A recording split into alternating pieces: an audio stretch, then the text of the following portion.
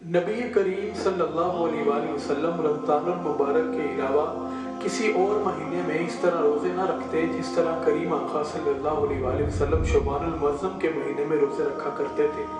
جب صحابہ کرام نے نبی کریم صلی اللہ علیہ وآلہ وسلم سے پوچھا کہ یا رسول اللہ صلی اللہ علیہ وآلہ وسلم، آپ اس مہینے میں اتنے روزے کیوں رکھتے ہیں؟ تو کریم آقا صلی اللہ علیہ وآلہ وسلم نے ارشاد فرمایا کہ شعبان المعظم کی اہمیت سے لوگ غافل ہیں۔ اگر لوگوں کو پتہ چل جائے کہ اس کی اہمیت کیا ہے کہ اس مہینے میں اللہ تبارک و تعالیٰ کی بارگاہ میں لوگوں کے اعمال کو پیش کیا جاتا ہے، تو میں یہ چاہتا ہوں کہ جب میرے اعمال اللہ تبارک و تعالیٰ کی بارگاہ میں پیش کیے جائیں، تو اس وقت میں حالت روزہ میں۔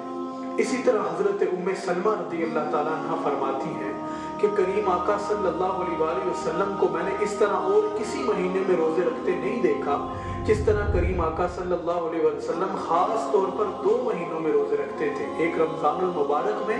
دوسرا شعبان المعظم میں پھر حضرت سیدہ عائشہ رضی اللہ تعالیٰ عنہ فرماتی ہیں فرماتی ہیں کہ کریم آقا صلی اللہ علیہ وآلہ وسلم رمضان کے علاوہ شعبان المعظم میں روزوں کی کثرت کیا کرتے تھے۔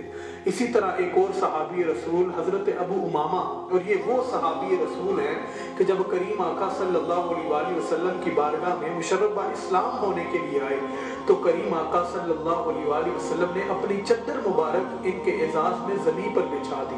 جب حضرت ابو امامہ نے دیکھا کہ تاجدار کائنات نے تو اپنی چدر مبارک میرے اعزاز میں اور میری رسپیکٹ کے لیے آپ نے زمین پر بچھا دیا تو حضرت ابو امامہ آگے بڑھے اور چدر کو اٹھا کے اپنے سینے سے لگا لیا۔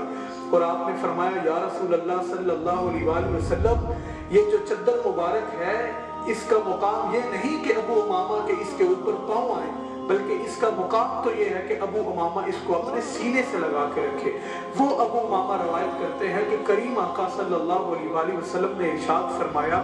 کہ جس شخص نے شعبان المعظم کا روزہ رکھا، اللہ تبارک و تعالیٰ اس کے بدلے میں اس کو جنت الفردوس عطا فرمائے گا اور اللہ تبارک و تعالیٰ اس کو دوزک سے نجات عطا فرما دے گا۔